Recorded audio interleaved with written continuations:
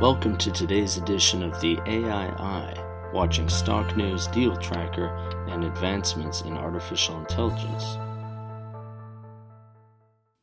Hello, everyone. This is Sam Mowers here. Welcome to the latest episode of the AI Eye podcast. For stock news today, GBT Technologies has received a notice of publication for its Sigma continuation patent, and Juniper's Mist AI is being deployed at Oxford. Then we're going to take a look at some projections for the global market for AI based clinical trial solutions for patient matching. Just before we get into the show, though, a quick reminder that if you enjoy this podcast, please feel free to share it or leave us a review. And as always, I recommend checking out some of the other podcasts on investorideas.com. This includes the Cannabis Podcast, the Clean Tech and Climate Change Podcast, along with many others, all of which will bring you up to speed on the latest stock news and trends in their respective spaces. Right, so GBT Technologies Inc., which trades on the OTC Pink under the ticker symbol GTCH, has received a notice of publication for its continuation patent application for automatic correction of integrated circuits electrical connectivity mismatches. This one is codenamed Sigma. This continuation application aims to enhance and strengthen particularly Sigma's AI technology, focusing on intelligent systems and methods to automate integrated circuits electrical connectivity errors correction.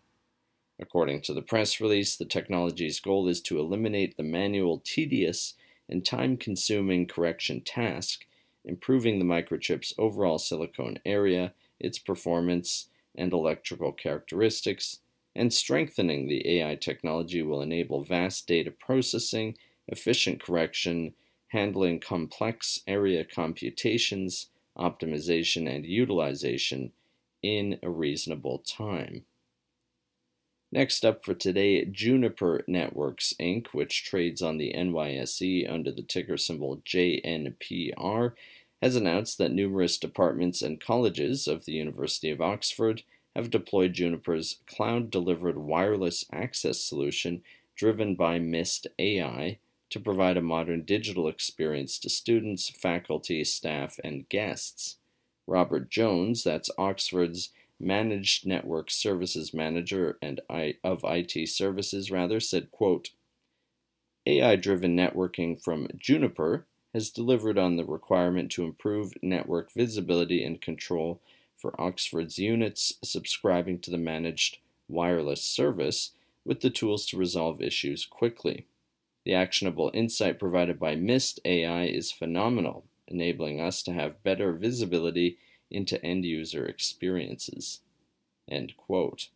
We'll pivot away from stock news at this point and take a look now at a report published by Polaris Market Research, finding that the global market for AI based clinical trial solutions for patient matching is projected to grow from 253.13 million USD in 2022 to 2.87 billion dollars in 2032 registering a compound annual growth rate of 29.2% in the forecast period running from 2023 to 32.